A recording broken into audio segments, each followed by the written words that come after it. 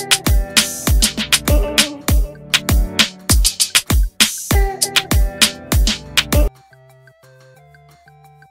ามจริงที่หงาคาราวานอยากเปิดโปงในคอนเสิร์ต 75 บริบูรณ์ สุรชัยจันทิมาธรความจริงที่หงาคาราวาน อยากเล่าจะถูกเปิดโปงในคอนเสิร์ต 75 บริบูรณ์ สุรชัยจันทิมาธรเรื่องราวแหลมคม ผ่านบทเพลงที่แสนจริงใจต่อสังคมไทยในวาระ 75 ปีเมื่อวันที่ 3 มีนาคม 2566 ที่บริเวณมีติ้งพอยต์ชั้นจีห้างสรรพสินค้า MBK Center มีการจัดแถลงข่าวงานคอนเสิร์ต 75 บริบูรณ์ สุรชัย จันทิมาธรคอนเสิร์ตใหญ่ของหงาคาราวาน พี่ใหญ่แห่งวงการเพลงเพื่อชีวิต จัดโดยคลาสซี่ ลีโปรเจกต์ซึ่งเป็นการกลับมาบอกเล่าเรื่องราวอันแหลมคม ชวนคิดสุขสนุกครบรสครบอารมณ์ผ่านบทเพลงที่แสนจริงใจต่อสังคมไทยในวาระ 75 ปีงานนี้ขนแขกรับเชิญพิเศษที่หลายคนคาดไม่ถึงมาเซอร์ไพรส์คนดู และรายได้ส่วนหนึ่งมอบให้กับ มูลนิธิโรงพยาบาลเด็ก และ Classy for Friend เงินทุนสำรองสำหรับคนอาชีพ นักแต่งเพลงที่ป่วยเป็นโรคมะเร็งภายในงานแถลงข่าว น้าหงาได้เล่นบทเพลงเพื่อชีวิตให้สื่อมวลชนและแขกที่มาร่วมงานฟังเพื่อเป็นการเรียกน้ำย่อยก่อนจะถึงวันคอนเสิร์ตจริง และภายหลังจบกิจกรรมบนเวทีน้าหงา ได้ให้สัมภาษณ์กับสื่อมวลชนถึงความพร้อมในคอนเสิร์ตครั้งนี้ เตรียมความพร้อมกับคอนเสิร์ตนี้ไปถึงไหนแล้ว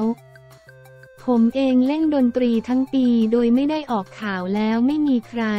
เล่นทุกวันตามชายขอบประเทศอยู่ที่ว่าคนเขาจะเรียกมาแล้วก็ไปเล่น แต่ในลักษณะของคอนเสิร์ตมันจะพิเศษที่เราจะมีการเตรียมมีการซ้อมคืองานมันจะมีมาตรฐาน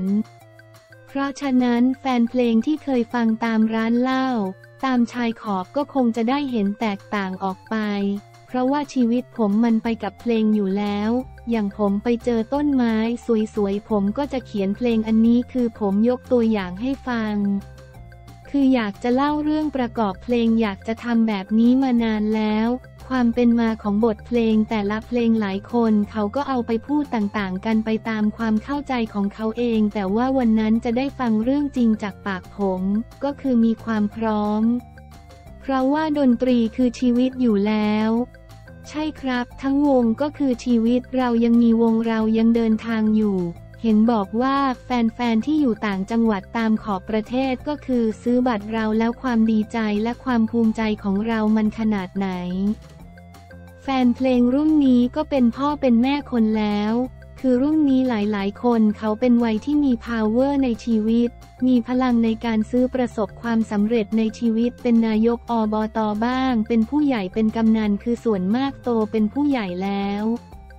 เขาก็จะพาลูกหลานเขามาดูเราด้วย เป็นการสืบทอดวัฒนธรรมผมอยากจะให้เป็นแบบนี้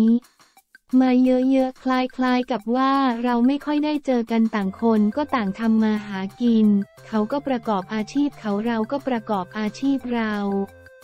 คนเรานี้เราเคยเผชิญหน้ากันอยู่ลาน สารวัตรป้องกันปราบปรามมั่งสนามหลวงบ้างธรรมศาสตร์บ้างก็แล้วแต่ที่ยังมีชีวิตอยู่ก็จะได้กลับมาพบกันอย่างที่บอกว่าตอนนี้อายุของนางหงา ก็ 75 ปีแล้วสุขภาพยังฟิตขนาดไหน ผมไม่ฟิตครับ ผมไม่ใช่นักกีฬา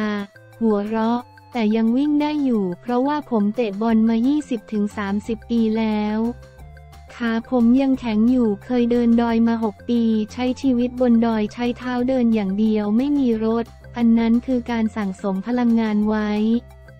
เตะบอลก็ 90 นาทีได้ แต่ก็ต้องเตะกับวัยเดียวกันนะครับ วัยอาวุโสด้วยกัน ไม่ใช่ไปเตะวิ่งไล่ทีมชาติอะไรแบบนั้น หัวเราะ แสดงว่าเวทีนี้เราจะมีโอกาสได้ฟังเพลงใหม่ ๆ ที่นางหงาแต่งไว้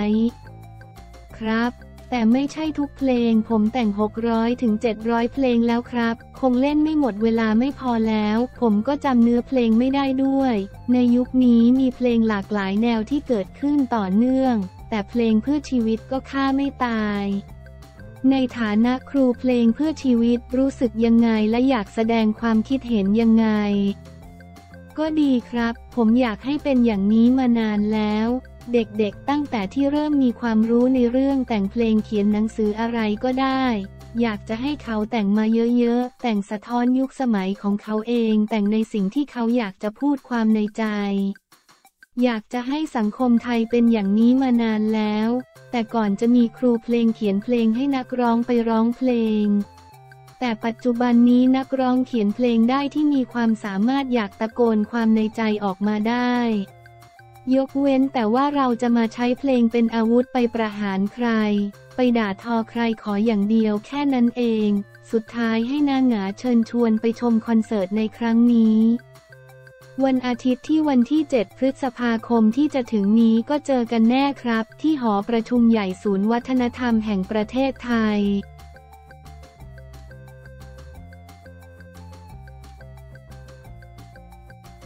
Paper Planes ลดรับงานผับห่วงเด็กตามไปดูเพลงเหม่งดมอยาเพื่อ FC ฟันน้ำนม Paper Planes ลดรับงานในผับห่วงเด็กตามไปดูแพลนรับงานกลางวันมากขึ้นปล่อยเพลงใหม่ลดคำหยาบให้เหมาะสมกับกลุ่มแฟนคลับฟันน้ำนมฮอตไม่หยุดฉุดไม่อยู่สำหรับวง Paper Planes Paper Plane โดยสองหนุ่มไฮธันวาเกตสุวรรณและเซนนครินทร์ขุนพักดีเจ้าของเพลงสุดฮิตทั่วบ้านทั่วเมืองในยุคนี้ ทรงอย่าง Bad กลายเป็นขวัญใจวัยรุ่นฟันน้ำนมไปแล้ว ล่าสุดเปิดตัวซิงเกิลใหม่ ชัดเจน โดยใช้พื้นที่สยามดิสคัฟเวอรี่จัดงานแถลงข่าว โชว์มินิคอนเสิร์ตสุดมันและจัดนิทรรศการเกี่ยวกับความรัก โดยสองหนุ่มฮาย เซน ได้ให้สัมภาษณ์ถึงการทำซิงเกิลใหม่ ชัดเจน ซึ่งทำเสร็จก่อนเพลงทรงอย่างแบด แล้วหลังได้รับกระแสจากกลุ่มแฟนคลับวัยฟันน้ำนมทำให้ต้องมีการปรับเนื้อท่อนแรปของเพลงใหม่ ลดคำหยาบ ให้เหมาะสมกับกลุ่มแฟนเพลงมากขึ้น อีกทั้งช่วงนี้พยายามลดรับงานในผับแล้วหันมารับงานในช่วงกลางวันแทน พื่อหลีกเลี่ยงการที่ผู้ปกครองพาเด็กๆ มาดูคอนเสิร์ตในสถานที่ที่อาจไม่เหมาะสมกับวัยของเด็กไฮตื่นเต้นมากครับ เปิดตัวเพลงใหม่ชัดเจนในพื้นที่สยามแบบนี้ยังรู้สึกเลยว่ามันเกิดขึ้นกับพวกเราแล้วเหรอ เมื่อวานยังรู้สึกว่าเรายังไม่ได้เป็นที่รู้จักขนาดนั้น ก็ไม่คิดว่าตัวเองมีชื่อเสียงประสบความสำเร็จ ผมยังใช้ชีวิตเหมือนเดิมปกติเมื่อก่อนเราออกมาทานข้าวห้างสรรพสินค้า พอวันนี้มาเจอน้องๆคุณพ่อคุณแม่น้องแม่น้องเริ่มมาขอถ่ายรูป ก็เริ่มรู้สึกว่าทุกอย่างมันเปลี่ยนไปแล้ว เราไม่ทันได้ตั้งตัวขนาดนั้นก็ขอบคุณมากครับ เดี๋ยวนี้ออกไปข้างนอกก็ต้องปรับการแต่งตัวมีแต่งหน้าด้วย แต่ก็เป็นความยินดี เพราะเรารู้ว่ามีคนชื่นชอบผลงานเราจริง ๆ บางครั้งน้องๆไม่ได้ถ่ายรูปแค่วิ่งเข้ามากอด วาดรูปมาให้ตอนนี้รู้สึกว่าออกไปข้างนอกรู้สึกเหมือนเราเจอญาติมากขึ้น เพราะฉะนั้นการวางตัวก็เปลี่ยนแต่ก็ไม่ได้เป็นเรื่องยากอะไรกดดันไหมน้องๆ มองเราเป็นไอดอลแรงบันดาลใจไฮไม่ถึงกับกดดันแต่มีเปลี่ยนวิธีการวางตัวบ้าง เช่น เลี่ยงพูดคำหยาบวันนั้น เซนพูดกับผมเฮ้ยมึงน้องหันมาพี่พูดมึงเหรอครับ เราก็อ๋อใช่ครับ ลืมครับ หัวเราะ เพราะปกติเราพูดกันแบบนี้อยู่แล้ว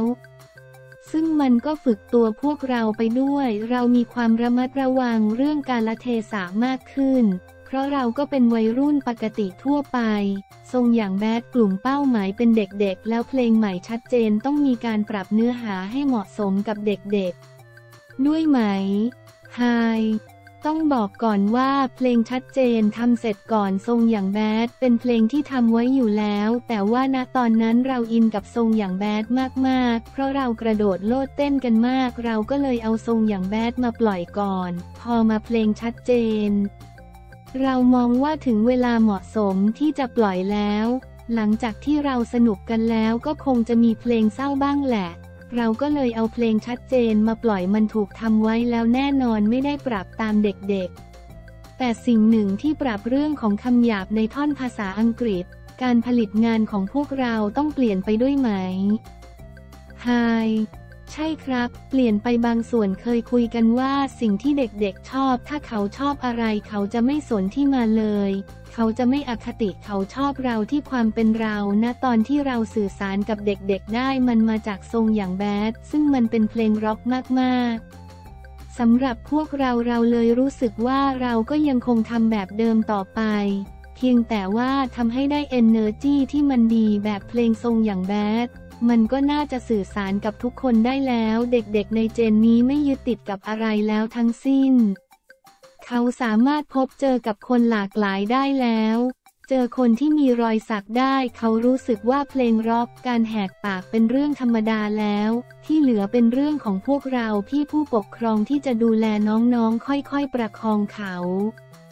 ตอนนี้เป็นห่วงเรื่องของงานโชว์ครับ พวกเราพอรู้ว่ามีน้องๆอยากดูพวกเรา เราก็เริ่มจะแพลนรับงานกลางวันเพื่อให้น้องๆมาเจอเราในห้างสรรพสินค้า แต่คราวนี้มันจะมีบ้างที่น้องๆอาจจะต้องไปผับ ก็อยากให้คุณพ่อคุณแม่ช่วยดูแลน้องๆ เพราะมันจะมีเรื่องของควันบุหรี่ เรื่องเสียง มียกเลิกงานกลางคืนไหม เพราะกลัวว่าเด็กๆจะเข้าไปดูในผับด้วยไฮ มีคุยกันจริงจังเลยครับ การที่เด็กๆมาดูพวกเราเป็นเรื่องที่น่ายินดี แต่เราเองไม่อยากให้เด็กๆมาดูแล้วเกิดผลเสียกับร่างกายเขา เรื่องสุขภาพการนอนแล้วการไม่ยอมไปโรงเรียนในวันรุ่งขึ้น เรื่องความรับผิดชอบ เรื่องเสียงอบายามุกต่างๆ ผมรู้สึกว่าถ้ามันเป็นอย่างนั้นผมจะเสียใจ ผมก็เลยซีเรียสถ้าวันนี้เรารับงานกลางวันแล้ว อยากให้คุณพ่อคุณแม่พาน้องไปดูงานกลางวันดีกว่า โดนแซวทรงอย่างแบดกลายเป็นทรงพ่อลูกอ่อนไปแล้วอุ้มน้องๆโชว์บนเวทีด้วยไฮมีอยู่ประเด็นหนึ่งคุณแม่ยังสาวมาคอมเมนต์ในไอจีของผมว่า เมื่อไหร่จะมาเจอลูกๆของเราแวบแรก ผมอ่านเฮ้ยเราไปขายทิ้งไว้ตรงไหนไม่ใช่หมายถึงว่าลูกของเราก็คือลูกของพวกเราแกงแกงคุณพ่อคุณแม่ อยากให้เปลี่ยนคำนิดนึงครับ จะได้ไม่เข้าใจผิดกันก็ตกใจครับ ตอนเล่นคอนเสิร์ตบางทีคุณพ่อคุณแม่ก็อยากให้เราอุ้มน้องหน่อย บางทีเด็กก็ให้อุ้มบ้างไม่ให้อุ้มบ้าง ตอนนี้ถ่ายรูปกับแฟนคลับไม่เหมือนเดิมอีกต่อไปแล้ว เพราะว่ามันเหมือนรูปครอบครัวบางทีก็ดูเหมือนคุณพ่อครับ หัวเราะ เพลงดังไกลไปต่างประเทศแล้วด้วยไฮไม่คิดเลยว่ามันจะไปไกล แต่เมื่อมันเกิดขึ้นก็ยินดีครับ ตอนที่คิดว่าเพลงเราจะไปเติบโตในกลุ่มคนแบบไหน ก็คือกลุ่มคนที่มีรอยสักแบดแบดหน่อยแล้วมาเล่นติ๊กต็อกผมคิดเล่นๆนะ แต่กลายเป็นว่าเด็กๆมาแบดกัน มีความคิดอยู่ในโลกที่มันหลากหลายมากขึ้น ความคาดหวังกับซิงเกิลใหม่ชัดเจนไฮจะบอกว่าไม่คาดหวังมันก็ดูไม่จริง แน่นอนเราทำเพลงแล้วเราก็คาดหวัง ต้องบอกว่าเราทำเพลงเราพอใจตั้งแต่มันปล่อยแล้ว ที่เหลือมันคือเรื่องของประชาสัมพันธ์ การตลาดแล้วเราตั้งใจทำมันเต็มที่แล้ว และคิดว่ามันน่าจะสื่อสารกับหลาย ๆ คนที่เหลือหลังจากนี้น่าจะเป็นแรงของทุกๆ คน ถ้าชื่นชอบจริง ๆ ก็อยากให้ช่วยแชร์กันต่อ ๆ ไปเรื่อย ๆ เพื่อให้คนอื่นได้ฟังด้วย ที่สำคัญเราอยากขอบคุณค่ายพวกเราที่เชื่อมั่นในตัวพวกเราเสมอ ไม่ว่าเราจะทำเพลงแนวไหนพี่ๆเขาไม่เคยตีกรอบ พวกเราอยากให้เราเป็นตัวเองมากๆ แล้วเขาเชื่อมั่นตั้งแต่วันแรกที่ยังไม่มีเพลงเสแสร้งทรงอย่างแบดเลยด้วยซ้ำ